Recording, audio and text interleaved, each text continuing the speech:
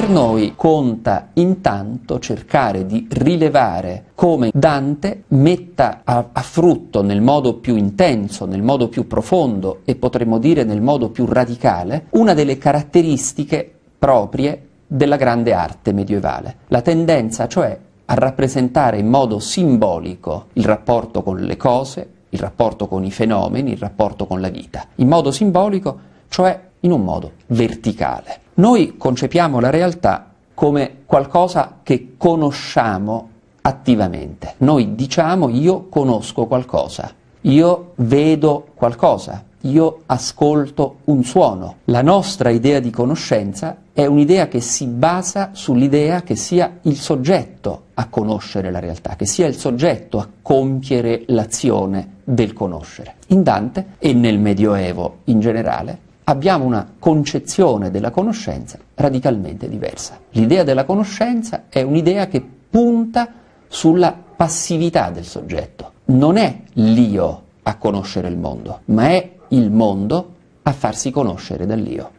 Questa rappresentazione del conoscere, questa rappresentazione del modo di entrare in contatto con la realtà può essere definita di tipo verticale e rientra nella grande stagione del simbolismo medievale, cioè quella stagione che, che privilegiava una interpretazione simbolica e non realistica dei fenomeni del mondo. Un'interpretazione realistica vuol dire parlare delle cose, descriverle quali esse sono. Un'interpretazione simbolica, come ci dice l'etimologia della parola simbolo, che viene dal greco simbalo, cioè tengo insieme, vuol dire, l'interpretazione simbolica, riconoscere nel fenomeno, riconoscere nell'oggetto immediatamente presente il significato. L'io, cioè, non deve cercare di raggiungere il significato delle cose attraverso la loro descrizione, studiando il loro reale modo di essere. L'io deve al contrario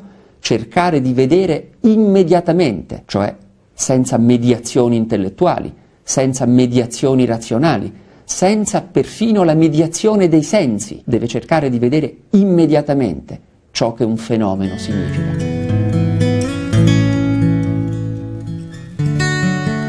Se noi teniamo presenti i grandi quadri religiosi dei maestri della pittura del Duecento, come Duccio da Boninsegna, Simone Martini, eh, Ambrogio e Pietro Lorenzetti o Cimabue, vediamo che il sacro, la figura sacra, la Madonna o più raramente Cristo o i santi, sono solitamente circondati, quasi immersi in un fondo oro, cioè alle spalle del soggetto dipinto non c'è una realtà come essa si dà, come essa si offre alla nostra vista nel mondo. Non abbiamo un paesaggio, non abbiamo colline o natura o i tratti architettonici di un'abitazione. Abbiamo il più delle volte nella rappresentazione del sacro uno sfondo uniforme, compatto, color oro, che indica appunto l'intenzione del pittore non di descrivere la figura che è oggetto del suo interesse, quanto piuttosto di rappresentare immediatamente il valore sacro di quella figura. Ciò che conta non è il dato di realtà all'interno del quale l'esperienza va a collocarsi, ciò che conta davvero è la possibilità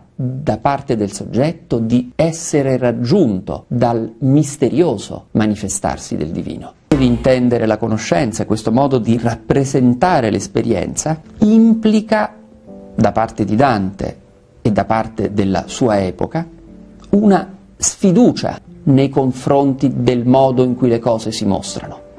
La scienza del tempo di Dante non ha fiducia nella possibilità di descrivere i fenomeni così come si vedono per cercare di ricostruire il loro significato la scienza del tempo di Dante cerca sempre di ricavare dal contatto con ogni fenomeno della vita il significato ultimo.